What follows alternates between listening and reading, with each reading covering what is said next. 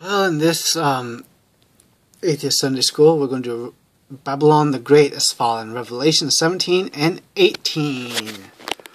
Emphasis on of chapter 17 is on the religious aspect of Babylon, the last great world system before the return of Christ. Babylon will be overthrown by the beast the invitation, Revelation 17 1 through 2. Since the seven vials brought God's complete wrath on the world, including the fall of Babylon, one of those angels invites John to go to the wilderness to see the great whore, the final apostate world system.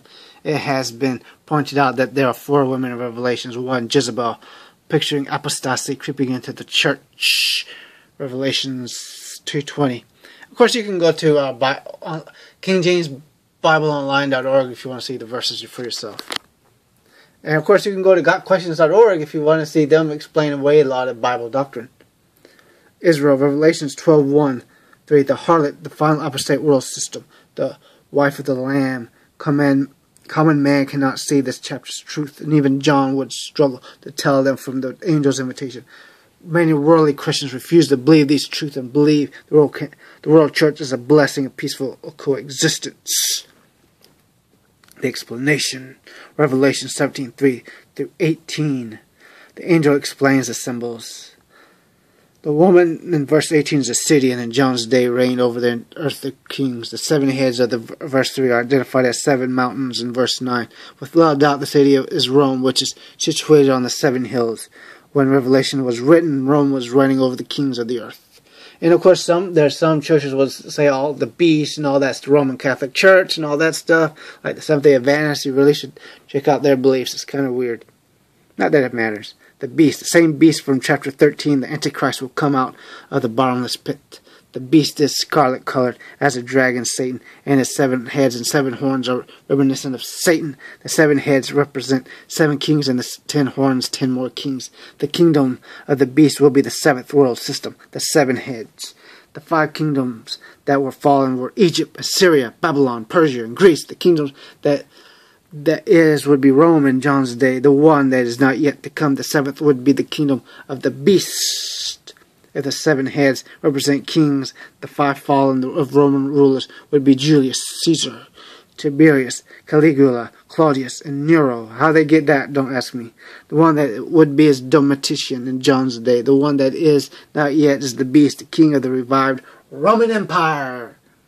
The ten horns, verse 12 explains that these are the ten kings paralleling the ten horn toes of Daniel's image of the revived Roman Empire. Daniel 2:36 to 45. John, in John's day, these kings had not yet received their power, which is reserved for the last days. The ten kings give support to the beast, with, and with his help, they will destroy the great whore. The waters. The waters on which the whore is seated are the peoples of the world she will have influence over the whole world, politically, economically, and most of all, religiously. Therefore, it's the Roman Catholic Church, as some will tell you. That's why you know when it's, I'll say you know the the great whore and the, uh, you know the mother of the mother of harlots, the mother of harlots being the Protestant churches. That's what the Seventh Day Adventists will tell you. The Protestant churches, and they're not a Protestant church. They will tell you like Baptists will tell you the same thing. They're not a Pro- Protestant church. The application of horror and of Revelation represents not simply the latter day Roman system alone, but all the anti Christian systems in the centuries past. They have killed God's servants. The Roman Catholic Church killed a lot of fellow Christians. The development of this great world church is evident even now. False religion began back in Babylon, with Nimrod spreading from nation to nation, until the entire Roman system was filled with pagan doctrine and practices. The last days, Protestant church groups will move closer to Rome, finally forming the great world church, the world church. The harlot will meddle in the political and economic affairs of the world. Yeah, because somehow all these, you know, secular nations in Europe and Canada and all these are going to just give up their authority to a, a, a religion. They're just going to all of a sudden start believing in something without evidence. Yeah, it's just going to happen. Revelation 18. I mean, seriously, though, do you think that these na- well with the Mus- well the Casino fight they are so open arms with the Muslims. Who knows? It makes you wonder. The voice of judgment, Revelation 18. Revelation 18, 1 through 3. This angel announces the fall of Babylon.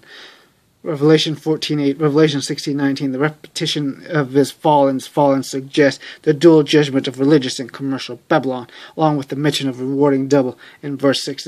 This great city, the center of the world economic system, will finally receive deserved judgment. It has become a habitation of demons and a, and a haven for foul spirits. Verse 3 indicates that her worldwide influence as a drunken man is as drunken men, all that matter to them is that she made them rich. The voice of separation. Revelations 18 4 through 8.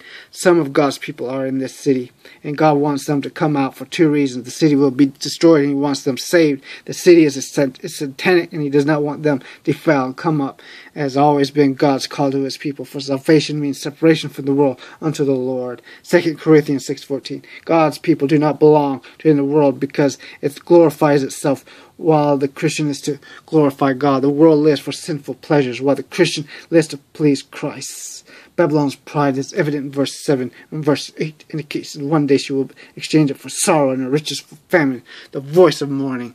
Revelations 18 9 through 19. True groups, earthly kings and merchants, are laminating the fall of Babylon. They fornicated with Babylon by rejecting Christ and following idols' money. Their luxurious living was now at an end, noted by by the repetition of alas, alas, Babylon is judged in one day and one hour. Their merchants is gone. Both luxuries and necessities will be destroyed when God judges Babylon. Shipping and its industries will be destroyed and brought to ruin. Depending on the economic system, will be destroyed. And men, the voice of rejoicing, Revelation 18, 20 to 24 the voice of rejoicing, Revelation 18, 20, 24. The wicked do not share the same viewpoint as Christians. Just here, heaven rejoiced, but earth mourned when Satan was cast out. Revelation 12, 10 through 12. The same occurs how, now that Babylon has been destroyed. Heaven's rejoicing is over God's avenging of the blood of the martyrs. Heaven's prayers answered. The certainness of God's judgment on the empire of the beast is indicated by the millstone being cast down, perhaps indicating the return of Christ, the smiting stone, pictured in Daniel 2 34 to 35, 44 to 45. Just when the world thinks it's getting along without Christ, he will return to smash their system and destroy their works.